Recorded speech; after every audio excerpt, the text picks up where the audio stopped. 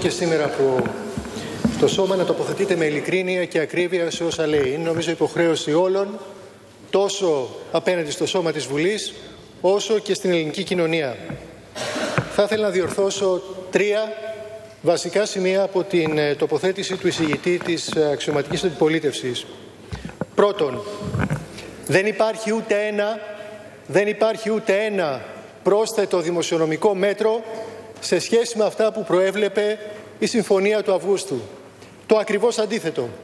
Από τον Αύγουστο του 2015 μέχρι τώρα η οικονομία έχει πάει πολύ καλύτερα από τις προβλέψεις της Συμφωνίας του Αυγούστου. Τα έσοδα πολύ καλύτερα από τις προβλέψεις του Αυγούστου και κατά συνέπεια τα δημοσιονομικά μέτρα που υποχρεωνόμαστε να νομοθετήσουμε είναι λιγότερα από αυτά που προέβλεπε η Συμφωνία του Αυγούστου. Θα ζητούσα λοιπόν από τον, από τον εισηγητή της Νέας Δημοκρατίας να καταθέσει τα στοιχεία που δείχνουν ότι τα μέτρα που παίρνουμε τώρα είναι περισσότερα από αυτά της Συμφωνίας του Αυγούστου. Δεύτερον, οι δημοσιονομικοί στόχοι του προγράμματος ψηφίστηκαν τόσο από την κυβέρνηση της αριστεράς όσο και από την αντιπολίτευση. Η επίτευξη των στόχων αυτών μπορεί να γίνει με δύο τρόπους. Ο πρώτος, ο τρόπος που επιλέγει η κυβέρνηση της αριστεράς, είναι παίρνοντας λίγα από τους πολλούς και πολλά από τους λίγους. Ο τρόπος που θα επέλεγε η αξιωματική αντιπολίτευση, αυτό λέει τουλάχιστον ο κύριος Μητσοτάκης, είναι η μείωση των φόρων και η ακόμα μεγαλύτερη μείωση, προσέξτε, για να πετύχουμε τα πλεονάσματα αυτά, συμβατά με χαμηλότερους φόρους, οι δαπάνες θα πρέπει να μειωθούν ακόμα περισσότερο. Οριζόντιες περικοπές στις δαπάνες σημαίνει περαιτέρω αποδόμηση του κοινωνικού κράτους. Εμείς θα μειώσουμε τις δαπάνες, κύριοι της αξιωματικής αντιπολίτευσης, αλλά θα το κάνουμε συστηματικά, θα το κάνουμε με αναθεώρηση των δαπανών που θα ξεκινήσει τον επόμενο μήνα, που θα ξεκινήσει τον επόμενο μήνα και θα το κάνουμε με τρόπο που θα δημιουργήσει γόρο για να μειωθούν οι φόροι μετά από ένα-δύο χρόνια. Αλλά δεν πρόκειται να μειώσουμε δαπάνες οριζόντια όπως τα κάνατε εσείς, ώστε να μειώσετε παράλληλα και τους φόρους. Τρίτο για το μηχανισμό. Πρώτα απ' όλα είναι μεγάλη ανακρίβεια το επιχείρημα ότι ο μηχανισμός είναι το αποτέλεσμα της αναξιοπιστίας της οικονομικής πολιτικής της κυβέρνησης. Ποιας αναξιοπιστίας; Το 2015 η υπέρβαση του πλεονάσματος, η υπέρβαση του πλεονάσματος ήταν της τάξης του 1,7 δις. Για ποια αναξιοπιστία μιλάτε; Ο μηχανισμός είναι το αποτέλεσμα, ο μηχανισμός είναι το αποτέλεσμα της διαφωνίας του...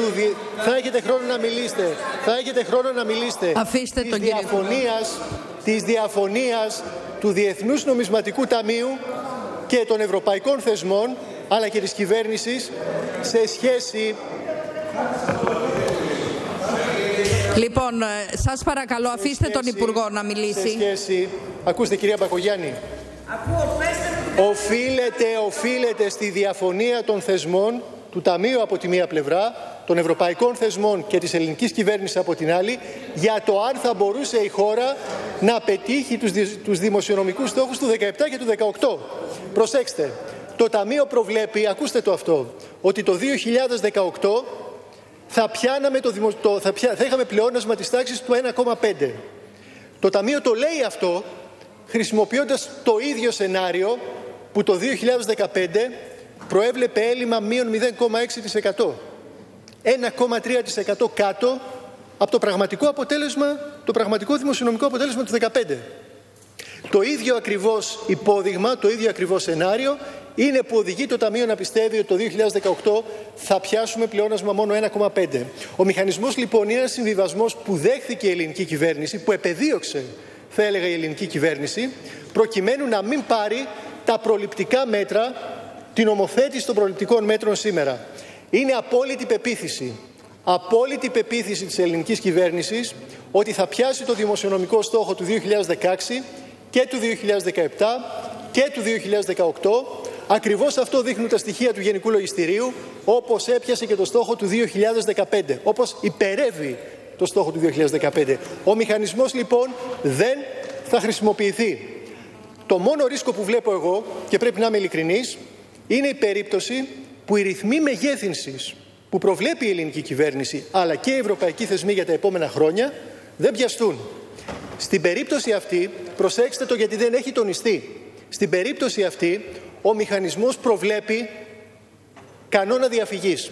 Προβλέπει δηλαδή προσαρμογή των στόχων προς τα κάτω, ώστε να μην παγιδευτούμε ακριβώς, ακριβώς στο, στην παγίδα που έπεσε η προηγούμενη κυβέρνηση της προκυκλικής δημοσιονομικής πολιτικής σε συνθήκες ύφεσης, να επιδιώκει αύξηση των εσόδων προκειμένου να πιάσει μη ρεαλιστικούς στόχους. Ευχαριστώ.